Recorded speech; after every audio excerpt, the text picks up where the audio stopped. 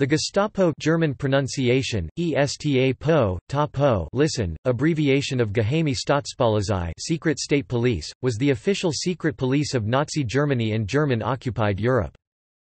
The force was created by Hermann Göring in 1933 by combining the various security police agencies of Prussia into one organization.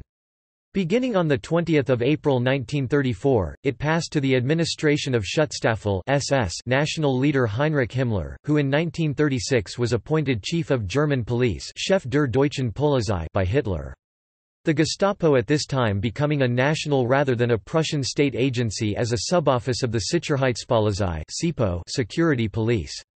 Then, from 27 September 1939 forward, it was administered by the Reichssicherheitshauptamt RSHA Reich Main Security Office. It became known as AMT Department 4 of the RSHA and was considered a sister organization to the SS Sicherheitsdienst SD security service. During World War II, the Gestapo played a key role in the Nazi plan to exterminate the Jews of Europe. History As part of the agreement in which Adolf Hitler became Chancellor of Germany, Hermann Göring—future commander of the Luftwaffe and the number two man in the Nazi Party—was named Interior Minister of Prussia. This gave Göring command of the largest police force in Germany. Soon afterward, Göring detached the political and intelligence sections from the police and filled their ranks with Nazis. On 26 April 1933, Göring merged the two units as the Geheime Staatspolizei, which was abbreviated by a post office clerk for a franking stamp and became known as the Gestapo. He originally wanted to name it the Secret Police Office Geheimspolizei AMT, but the German initials GPA were too similar to those of the Soviet Gosudarstvennoy Politiskoy Upravlenie or State Political Directorate, known as the GPU. The first commander of the Gestapo was Rudolf Diels, a protégé of Göring. Diels was appointed with the title of Chief of Abteilung IA Department 1A of the political police of the Prussian Interior Ministry. Diels was best known as the primary interrogator of Marinus van der Lubbe after the Reichstag fire. In late 1933, the Reich Interior Minister Wilhelm Frick wanted to integrate all the police forces of the German states under his control. Göring outflanked him by removing the Prussian political and intelligence departments from the state interior ministry. Göring took over the Gestapo in 1934 and urged Hitler to extend the agency's authority throughout Germany. This represented a radical departure from German tradition, which held that law enforcement was mostly a land state and local matter. In this, he ran into conflict with Heinrich Himmler, who was police chief of the second most powerful German state, Bavaria. Frick did not have the muscle to take on Göring by himself so he allied with Himmler. With Frick's support, Himmler pushed on by his right-hand man, Reinhard Heydrich took over the political police of state after state. Soon only Prussia was left, concerned that Diels was not ruthless enough to effectively counteract the power of the Sturmabteilung SA. Göring handed over control of the Gestapo to Himmler on 20 April 1934. Also on that date, Hitler appointed Himmler chief of all German police outside Prussia. Heydrich, named chief of the Gestapo by Himmler on the 22nd of April 1934, also continued as head of the SS Security Service Sicherheitsdienst, SD. Himmler and Heydrich both immediately began installing their own personnel in select positions, several of whom were directly from the Bavarian political police, such as Heinrich Müller, Franz Joseph Huber, and Joseph Meisinger. Many of the Gestapo employees in the newly established offices were young and highly educated in a wide variety of academic fields and moreover, represented a new generation of National Socialist adherents, who were hardworking, efficient, and prepared to carry the Nazi state forward through the persecution of their political opponents. By the spring of 1934 Himmler's SS controlled the SD and the Gestapo, but for him, there was still a problem, as technically the SS and the Gestapo by proxy was subordinated to the SA, which was under the command command of Ernst Röhm. Himmler wanted to free himself entirely from Röhm, whom he viewed as an obstacle. Röhm's position was menacing as more than 4.5 million men fell under his command once the militias and veterans organizations were absorbed by the SA, a fact which fueled Röhm's aspirations. His dream of fusing the SA and Reichswehr together was undermining Hitler's relationships with the leadership of Germany's armed forces. Several Nazi chieftains, among them Göring, Joseph Goebbels, Rudolf Hess, and Himmler, began a concerted campaign to convince Hitler to take action against Röhm. Both the SD and Gestapo released information concerning an imminent putsch by the SA. Once persuaded, Hitler acted by setting Himmler's SS into action, who then proceeded to murder over 100 of Hitler's identified antagonists. While members of the Gestapo did not participate in the killing, they supplied the information which implicated the SA and ultimately enabled Himmler and Heydrich to emancipate themselves entirely from the organization.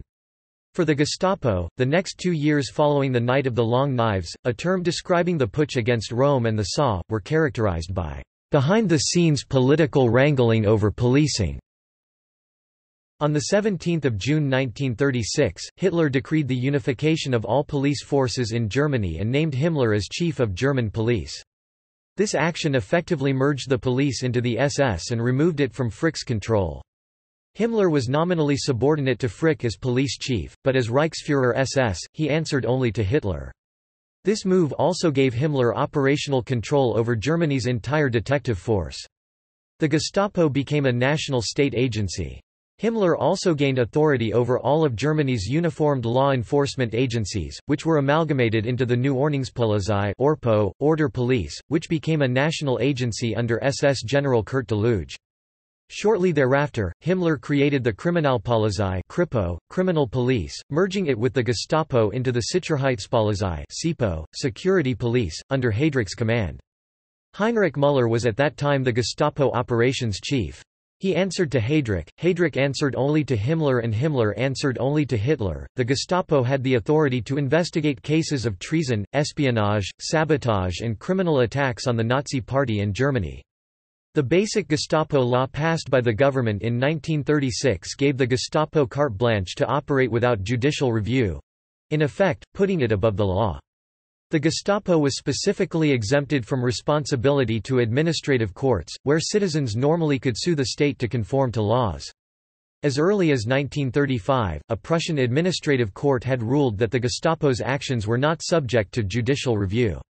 The SS officer Werner Best, one-time head of legal affairs in the Gestapo, summed up this policy by saying, as long as the police carries out the will of the leadership, it is acting legally. On 27 September 1939, the security and police agencies of Nazi Germany—with the exception of the Orpo, were consolidated into the Reich Main Security Office headed by Heydrich. The Gestapo became AMTIV Department IV of RSHA and Müller became the Gestapo chief, with Heydrich as his immediate superior. After Heydrich's 1942 assassination, Himmler assumed the leadership of the RSHA until January 1943, when Ernst Kaltenbrunner was appointed chief. Müller remained the Gestapo chief. His direct subordinate Adolf Eichmann headed the Gestapo's Office of Resettlement and then its Office of Jewish Affairs Referat IV B4 or Sub-Department IV, Section B4. During the Holocaust, Eichmann and his agency coordinated the mass deportation of European Jews to the Nazis' extermination camps. The power of the Gestapo included the use of what was called Schutzhaft, protective custody, a euphemism for the power to imprison people without judicial proceedings. An oddity of the system was that the prisoner had to sign his own Schutzhaftbefehl, an order declaring that the person had requested imprisonment presumably out of fear of personal harm. In addition, thousands of political prisoners throughout Germany and from 1941, throughout the occupied territories under the Night and Fog Decree simply disappeared while in Gestapo custody. Counterintelligence The Polish government in exile in London during World War II received sensitive military information about Nazi Germany from agents and informants throughout Europe. After Germany conquered Poland in the autumn of 1939, Gestapo officials believed that they had neutralized Polish intelligence activities.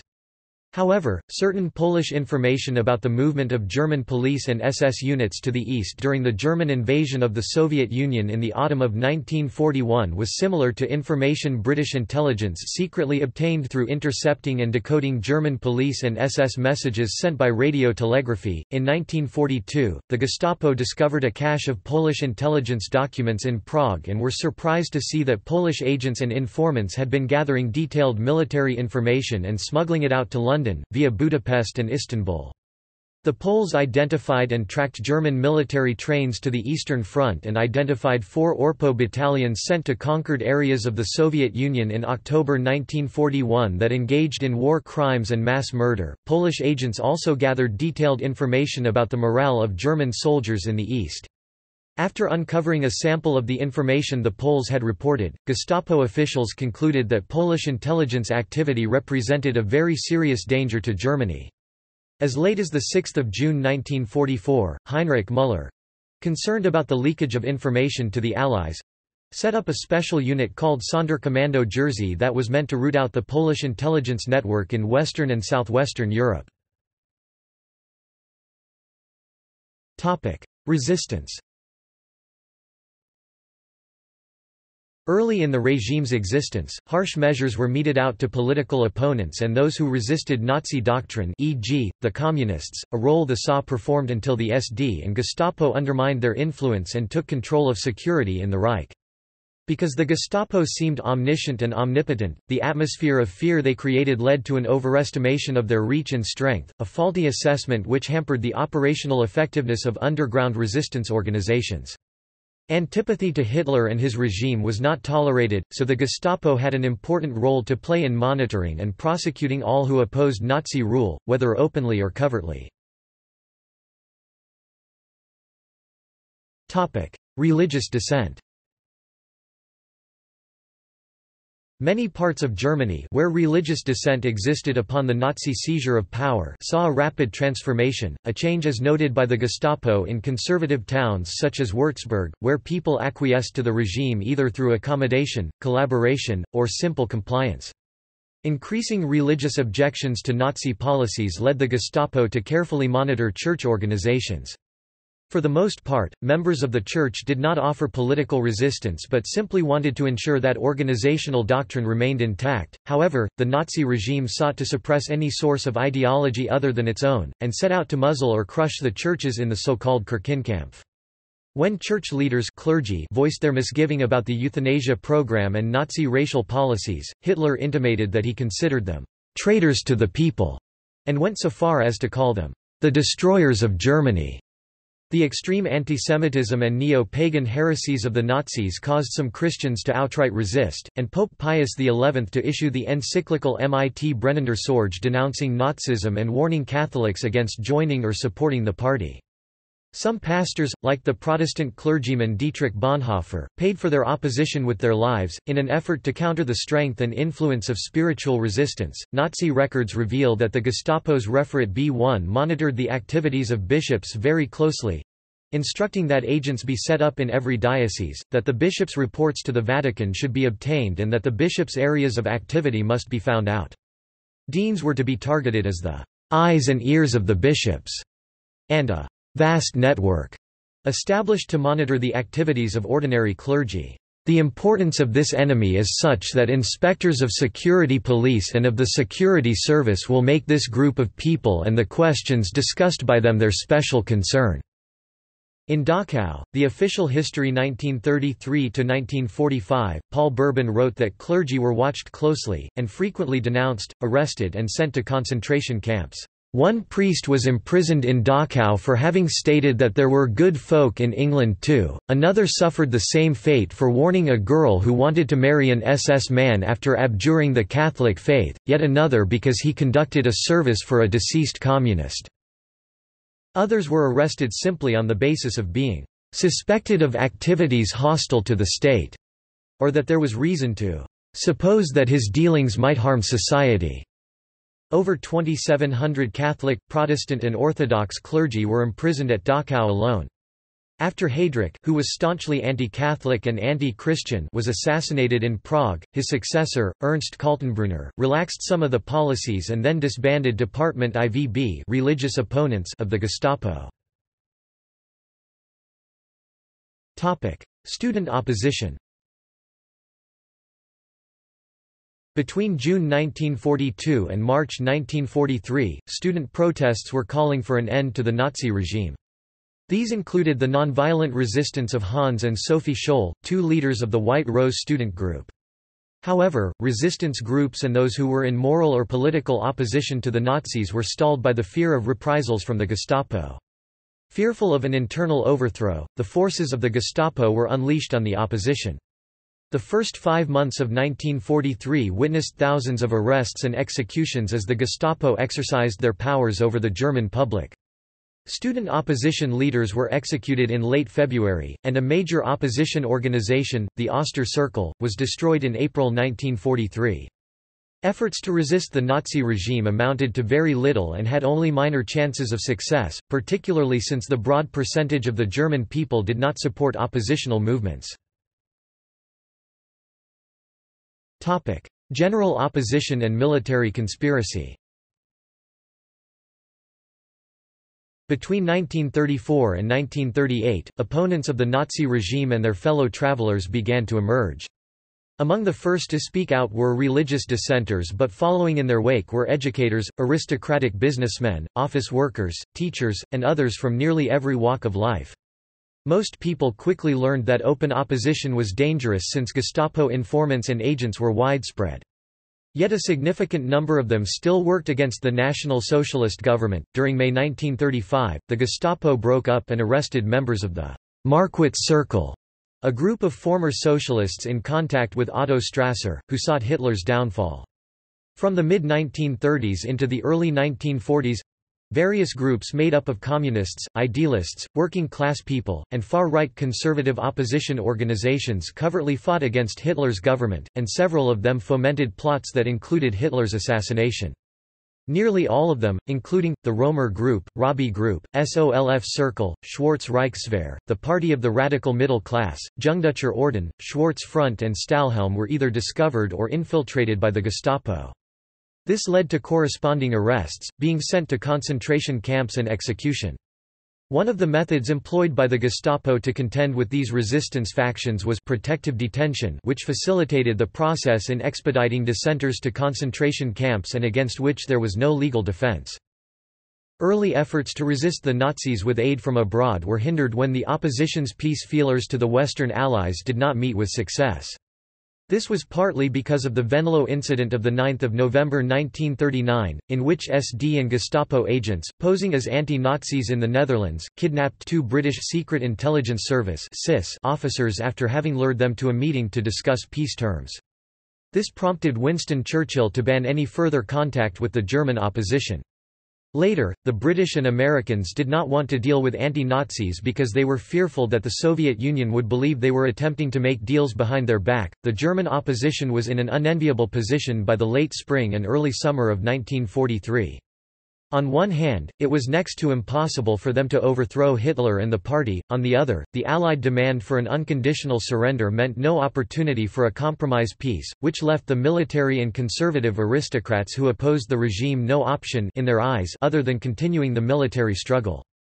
Despite fear of the Gestapo after mass arrests and executions in the spring, the opposition still plotted and planned.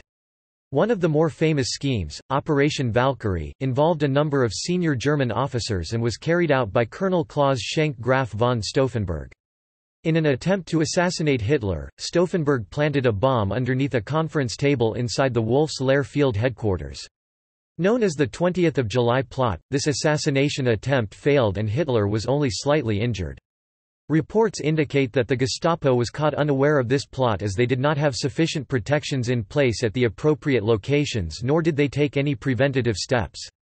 Stauffenberg and his group were shot on 21 July 1944. Meanwhile, his fellow conspirators were rounded up by the Gestapo and sent to a concentration camp. Thereafter, there was a show trial overseen by Roland Freisler, followed by their execution. Some Germans were convinced that it was their duty to apply all possible expedients to end the war as quickly as possible. Sabotage efforts were undertaken by members of the Abwehr military intelligence leadership, as they recruited people known to oppose the Nazi regime. The Gestapo cracked down ruthlessly on dissidents in Germany, just as they did everywhere else.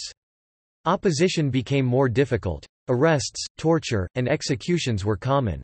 Terror against state enemies had become a way of life to such a degree that the Gestapo's presence and methods were eventually normalized in the minds of people living in Nazi Germany. Organization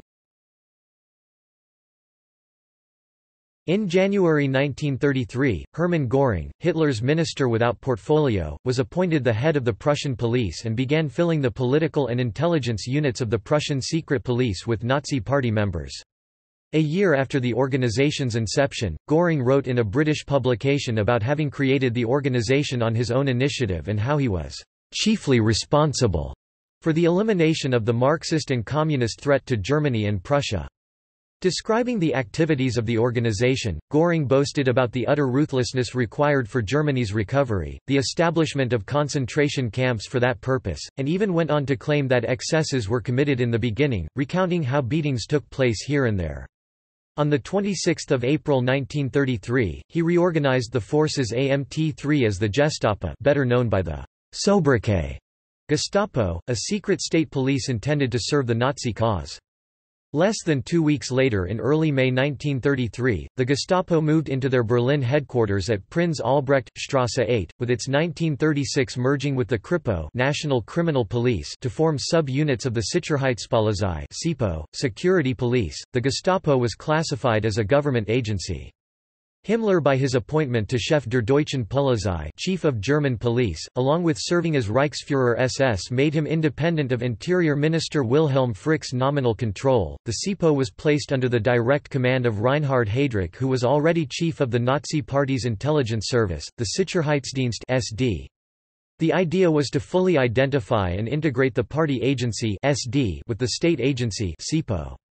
Most of the SIPO members were encouraged or volunteered to become members of the SS and many held a rank in both organizations. Nevertheless, in practice there was jurisdictional overlap and operational conflict between the SD and Gestapo. In September 1939, the SIPO together with the SD were merged into the newly created Reichssicherheitshauptamt (RSHA), Reich Main Security Office. Both the Gestapo and Kripo became distinct departments within the RSHA. Although the Sicherheitspolizei was officially disbanded, the term SIPO was figuratively used to describe any RSHA personnel throughout the remainder of the war. In lieu of naming convention changes, the original construct of the SIPO, Gestapo, and Kripo cannot be fully comprehended as discrete entities, since they ultimately formed a conglomerate in which each was wedded to each other and the SS through its security service, the SD. The creation of the RSHA represented the formalization, at the top level, of the relationship under which the SD served as the intelligence agency for the security police. A similar coordination existed in the local offices. Within Germany and areas which were incorporated within the Reich for the purpose of civil administration, local offices of the Gestapo, criminal police, and SD were formally separate. They were subject to coordination by inspectors of the security police and SD on the staffs of the local higher SS and police leaders, however, and one of the principal functions of the local SD units was to serve as the intelligence agency for the local Gestapo units. In the occupied territories, the formal relationship between local units of the Gestapo, criminal police, and SD was slightly closer. The Gestapo became known as RSHAAMTIV, Department or Office IV with Heinrich Müller as its chief. In January 1943, Himmler appointed Ernst Kaltenbrunner RSHA chief, almost seven months after Heydrich had been assassinated. The specific internal departments of AMTIV were as follows Topic. Department A political opponents Communists A1 Counter-sabotage A2 Reactionaries, Liberals and Opposition A3 Protective Services A4 Topic. Department B sects and churches. Catholicism B1 Protestantism B2 Freemasons and other churches B3 Jewish affairs B4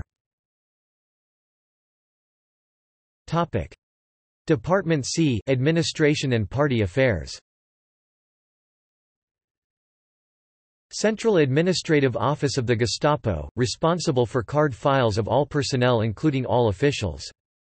Files, card, indexes, information and administration C1 Protective custody C2 Press office C3 NSDAP matters C4 Topic. Department D occupied territories. Administration for regions outside the Reich. Protectorate Affairs, Protectorate of Bohemia and Moravia, regions of Yugoslavia, Greece D1 1st Belgrade Special Combat Detachment. General Government D2 Confidential Office, Hostile Foreigners, Emigrants D3 Occupied Territories, France, Belgium, Holland, Norway, Denmark D4 Occupied Eastern Territories D5 Topic. Department E Security and Counterintelligence. In the Reich E1 Policy and Economic Formation E2 West E3 Scandinavia North E4 East E5 South E6 In 1941 Referat N, the Central Command Office of the Gestapo was formed.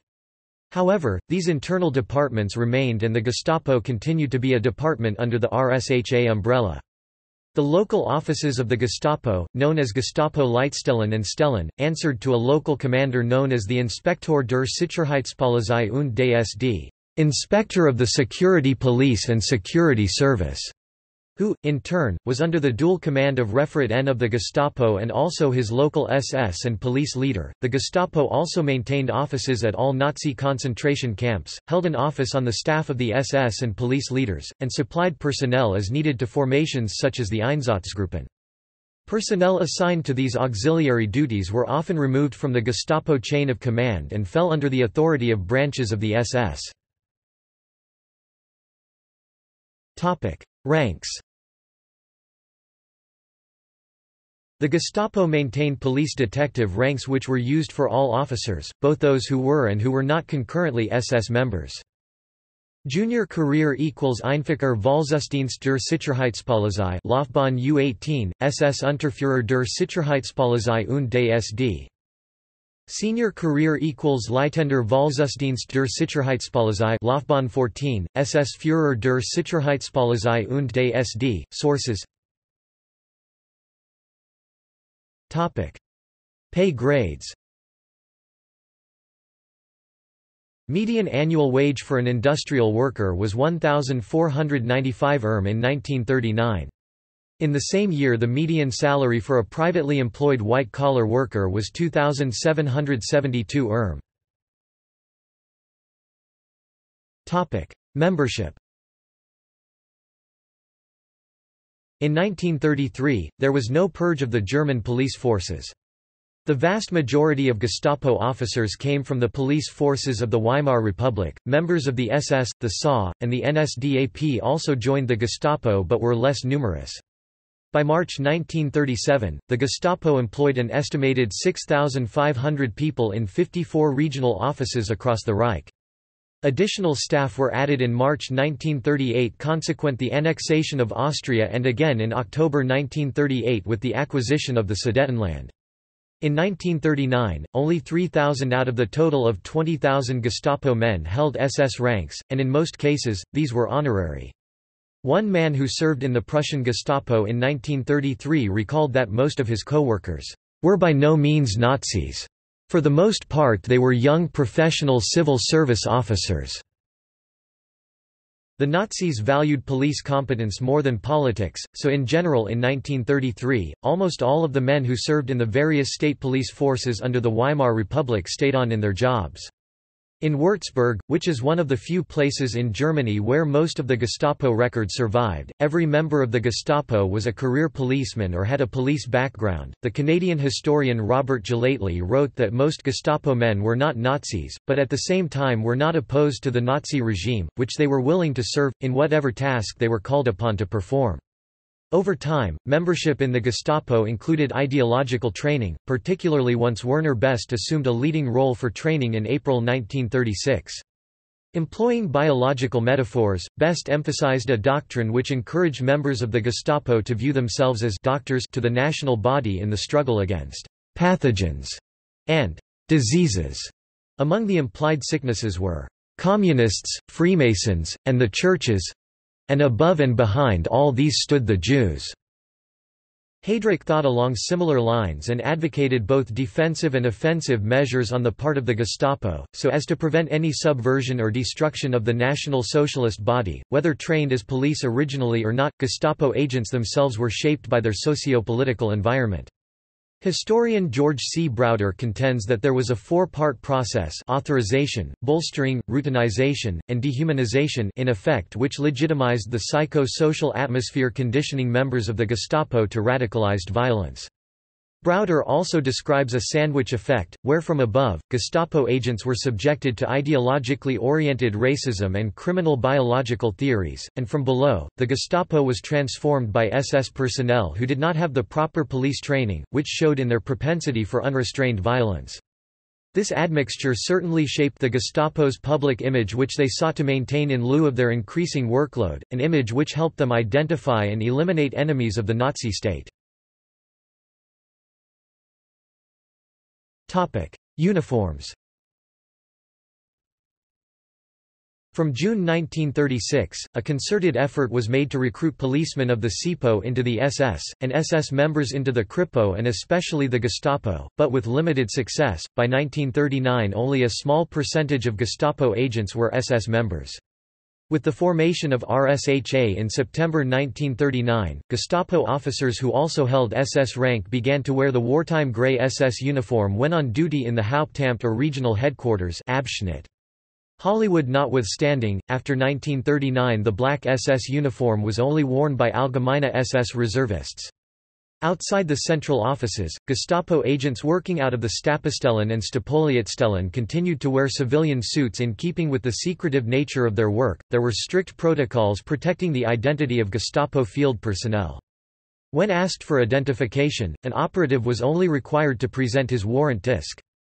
This identified the operative as Gestapo without revealing personal identity and agents, except when ordered to do so by an authorized official, were not required to show picture identification. Beginning in 1940, the grey SS uniform was worn by Gestapo in occupied countries of the East, even those who were not actually SS members, because agents in civilian clothes had been shot by members of the Wehrmacht thinking they were partisans. The grey SS uniform they wore had police pattern shoulderboards rank insignia on the shoulder straps, and SS rank rank insignia on the left collar patch.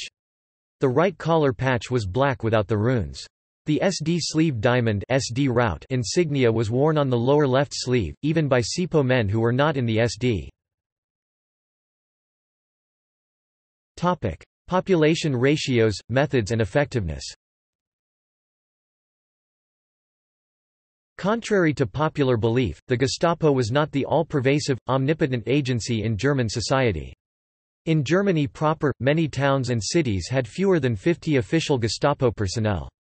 For example, in 1939 Stettin and Frankfurt am Main only had a total of 41 Gestapo men combined. In Dusseldorf, the local Gestapo office of only 281 men were responsible for the entire Lower Rhine region, which comprised 4 million people. V men as undercover Gestapo agents were known, were used to infiltrate social democratic and communist opposition groups, but this was more the exception, not the rule. The Gestapo office in Saarbrücken had 50 full-term informers in 1939. The district office in Nuremberg, which had the responsibility for all of northern Bavaria, employed a total of 80 to 100 full-term informers between 1943 and 1945. The majority of Gestapo informers were not full-term informers working undercover, but were rather ordinary citizens who chose to denounce other people to the Gestapo. According to Canadian historian Robert Gellately's analysis of the local offices established, the Gestapo was for the most part made up of bureaucrats and clerical workers who depended upon denunciations by citizens for their information. Gellately argued that it was because of the widespread willingness of Germans to inform on each other to the Gestapo that Germany between 1933 and 1945 was a prime example of panopticism. The Gestapo—at times—was overwhelmed with denunciations and most of its time was spent sorting out the credible from the less credible denunciations. Many of the local offices were understaffed and overworked, struggling with the paper load caused by so many denunciations. Gellately has also suggested that the Gestapo was a reactive organization which was constructed within German society and whose functioning was structurally dependent on the continuing cooperation of German citizens. After 1939, when many Gestapo personnel were called up for war-related work such as service with the Einsatzgruppen, the level of overwork and understaffing at the local offices increased. For information about what was happening in German society, the Gestapo continued to be mostly dependent upon denunciations. 80% of all Gestapo investigations were started in response to information provided by denunciations by ordinary Germans, while 10% were started in response to information provided by other branches of the German government and another 10% started in response to information that the Gestapo itself unearthed. The information supplied by denunciations often led the Gestapo in determining who was arrested. The popular picture of the Gestapo with its spies everywhere terrorizing German society has been rejected by many historians as a myth invented after the war as a cover for German society's widespread complicity in allowing the Gestapo to work. Work done by social historians such as Detlev Peukert, Robert Gellately, Reinhard Mann, Ing Marssolek, René Otto, Klaus Michael Mallmann and Paul Gerhard, which by focusing on what the local offices were doing has shown the Gestapo's almost total dependence on denunciations from ordinary Germans, and very much discredited the older, Big Brother picture with the Gestapo having its eyes and ears everywhere. For example, of the 84 cases in Würzburg of Rassenschande race defilement Sexual relations with non-Aryans, 45% were started in response to denunciations by ordinary people, 2% by information provided by other branches of the government, 20% via information gained during interrogations of people relating to other matters, 4% from information from Nazi NSDAP organizations, 2% during political evaluations, and 11% have no source listed while none were started by Gestapo's own Observations of the people of Würzburg, an examination of 213 denunciations in Dusseldorf showed that 37% were motivated by personal conflicts, no motive could be established in 39%, and 24% were motivated by support for the Nazi regime. The Gestapo always showed a special interest in denunciations concerning sexual matters, especially cases concerning Rassenschande with Jews or between Germans and foreigners, in particular Polish slave workers. The Gestapo applied even harsher methods to the foreign workers in the country, especially those from Poland, Jews, Catholics, and homosexuals. As time went by, anonymous denunciations to the Gestapo caused trouble to various NSDAP officials, who often found themselves being investigated by the Gestapo. Of the political cases, 61 people were investigated for suspicion of belonging to the KPD, 44 for the SPD, and 69 for other political parties. Most of the political investigations took place between 1933 and 1935 with the all-time high of 57 cases in 1935. After that year, political investigations declined with only 18 investigations in 1938, 13 in 1939, 2 in 1941, 7 in 1942, 4 in 1943 and 1 in 1944. The other category associated with nonconformity included everything from a man who drew a caricature of Hitler to a Catholic teacher suspected of being lukewarm about teaching National Socialism in his classroom. The administrative control category concerned whose were breaking the law concerning residency in the city. The conventional criminality category concerned economic crimes such as money laundering, smuggling and homosexuality. Normal methods of investigation included various forms of blackmail, threats and extortion to secure confessions Beyond that, sleep deprivation and various forms of harassment were used as investigative methods. Failing that, torture and planting evidence were common methods of resolving a case, especially if the case concerned someone Jewish. Brutality on the part of interrogators—often prompted by denunciations and followed with roundups, enabled the Gestapo to uncover numerous resistance networks, it also made them seem like they knew everything and could do anything they wanted, while the total numbers of Gestapo officials was limited when contrasted against the represented populations. The average Volksgenosse Nazi term for the member of the German people was typically not under observation, so the statistical ratio between Gestapo officials and inhabitants is largely worthless and of little significance, according to some recent scholars. As historian Eric Johnson remarked, the Nazi terror was selective terror.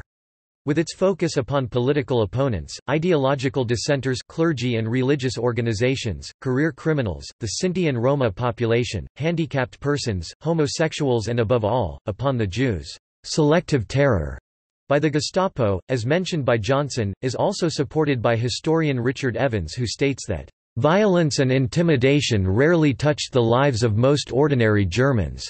Denunciation was the exception, not the rule, as far as the behavior of the vast majority of Germans was concerned. The involvement of ordinary Germans in denunciations also needs to be put into perspective so as not to exonerate the Gestapo.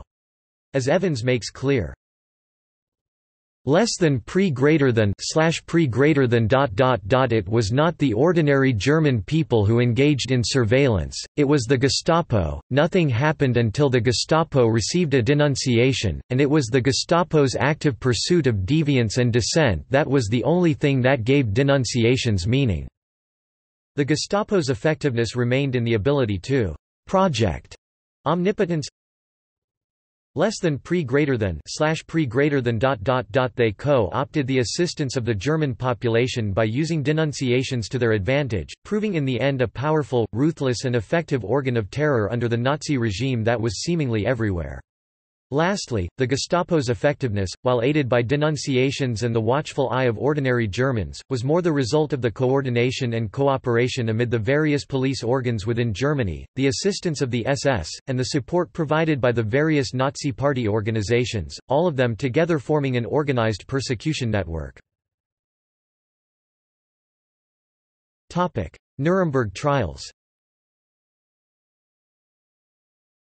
Between 14 November 1945 and 3 October 1946, the Allies established an International Military Tribunal to try 22 of 24 major Nazi war criminals and six groups for crimes against peace, war crimes and crimes against humanity. Nineteen of the 22 were convicted, and 12 of them Bormann in absentia, Frank, Frick, Göring, Jodl, Kaltenbrunner, Keitel, Ribbentrop, Rosenberg, Sauckel, Seyss-Inquart, Streicher, were each given the death penalty, the remaining three Funk, Hess, Raeder received life terms. At that time, the Gestapo was condemned as a criminal organization, along with the SS. However, Gestapo leader Heinrich Müller was never tried, as he disappeared at the end of the war. Leaders, organizers, investigators, and accomplices participating in the formulation or execution of a common plan or conspiracy to commit the crimes specified were declared responsible for all acts performed by any persons in execution of such plan.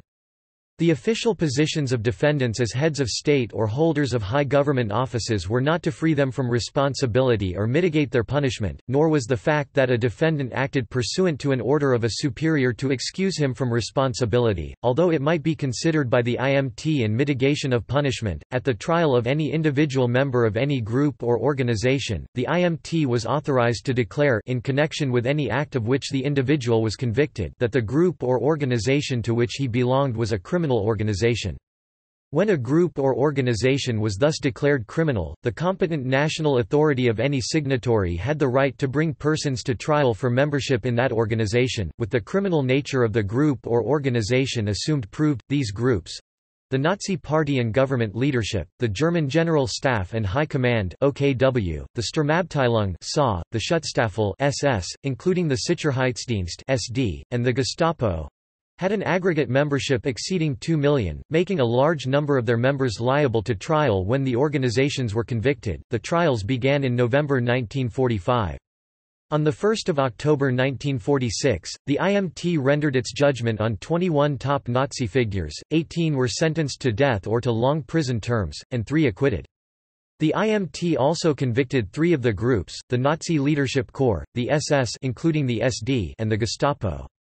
Gestapo members Hermann Göring, Ernst Kaltenbrunner and Arthur Seyss-Inquart were individually convicted. Three groups were acquitted of collective war crimes charges, but this did not relieve individual members of those groups from conviction and punishment under the denazification program. Members of the three convicted groups were subject to apprehension by Britain, the United States, the Soviet Union and France. Aftermath In 1997, Cologne transformed the former regional Gestapo headquarters in Cologne, the EL-DE House into a museum to document the Gestapo's actions. Principal agents and officers. See also.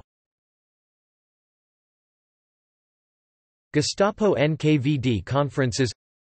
Glossary of Nazi Germany Geheime Feldpolizei the secret military police service of the Wehrmacht. Harold Cole POW who worked with the Gestapo to betray French resistance. Hipo Corps established in Denmark in 1944 by the Gestapo. OVRA Fascist Italy's civilian intelligence service. Stasi secret police of the GDR Igo Sym, Polish Gestapo agent. Tako commonly referred to as Japan's version of the Gestapo or FBI References. Informational notes. Citations. Bibliography. Topic. External links. Festung Führerland, Magazinet, Dagbladet. No in Norwegian. Collection of testimonies concerning Gestapo activity in occupied Poland during World War II in Chronicles of Terror database